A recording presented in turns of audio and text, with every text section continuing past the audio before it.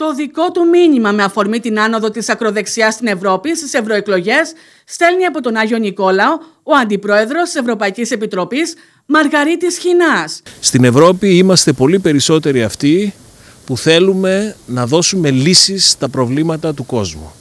Υπάρχουν πολλοί οι οποίοι θέλουν να καταστρέψουν την Ευρώπη. Δεν τους ενδιαφέρει καμιά λύση από την Ευρώπη. Θέλουν να ζήσουν απομονωμένοι σε ένα κόσμο δικό τους, με φοβικά σύνδρομα, με ακραία ρητορική, με κραυγές, με μίσος. Στην Ευρώπη αυτά δεν χωράνε.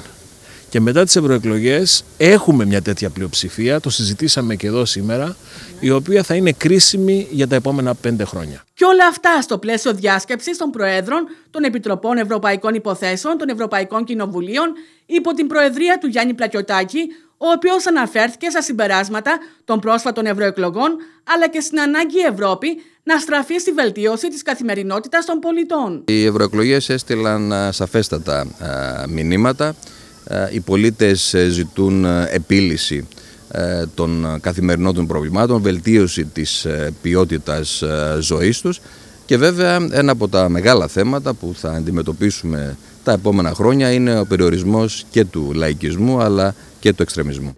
Η απάντηση στις προκλήσεις της επόμενης περίοδου πρέπει να είναι περισσότερη και καλύτερη Ευρώπη με κοινή εξωτερική και αμυντική πολιτική με ισχυρή παρουσία στη διεθνή σκηνή τόνισε μεταξύ άλλων ο κύριος Πλακιωτάκης. Πιστεύουμε ότι ο ρόλος της Ευρωπαϊκής Ένωσης θα πρέπει να ενισχυθεί μέσα από μια κοινή εξωτερική και αμυντική πολιτική και βέβαια χρειάζονται να ληφθούν πρωτοβουλίες έτσι ώστε να αντιμετωπιστούν ζητήματα που έχουν να κάνουν σχέση με την αναθεώρηση της ε, κοινής αγροτικής πολιτικής, ο μηχανισμός ανάκαμψης και ανθεκτικός να αποκτήσει πιο μόνιμα χαρακτηριστικά. Οι, οι άξονες της νέας κοινής ευρωπαϊκής πολιτικής για την άμυνα ε, θα διαμορφωθούν τις επόμενες εβδομάδες.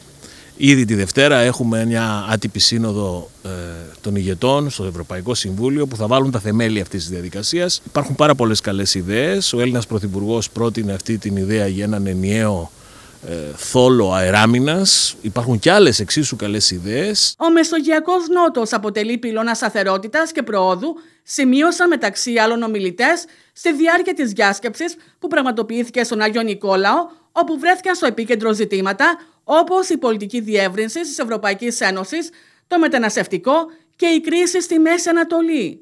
Τώρα έχουμε για πρώτη φορά με το νέο σύμφωνο μετανάστευσης και ασύλου, βάλαμε κάπως πάτο στο βαρέλι. Έχουμε ένα πλαίσιο ευρωπαϊκό για να χειριστούμε τη μετανάστευση. Δεν έχουμε ακόμα λύσει όλα τα προβλήματα, γιατί τώρα ξεκινάμε με το νέο σύμφωνο.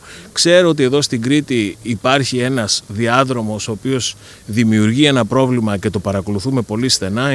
Έχουμε ανακοινώσει ένα πολύ μεγάλο πρόγραμμα βοήθειας στην Αίγυπτο για να σταθεροποιήσουμε την Αίγυπτο, έτσι ώστε να ελαχιστοποιηθούν και αυτές οι ροές. Είμαι αισιόδοξος, σχετικά αισιόδοξος θα τα καταφέρουμε.